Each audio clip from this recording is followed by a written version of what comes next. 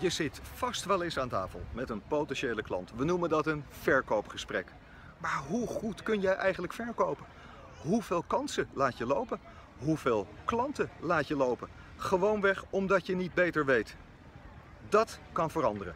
Je kunt meer verdienen. Je kunt meer klanten aantrekken vanuit meer zelfvertrouwen. En dat leer ik je tijdens de Klantenmotor Masterclass op donderdag 20 september. De vijfde editie alweer, een dag die je niet mag missen. In één dag de zeven beproefde groei- en klantstrategieën voor meer succes in jouw bedrijf. Ik hoop je dan persoonlijk te ontmoeten. Hartelijke groet, Patrick van Gils.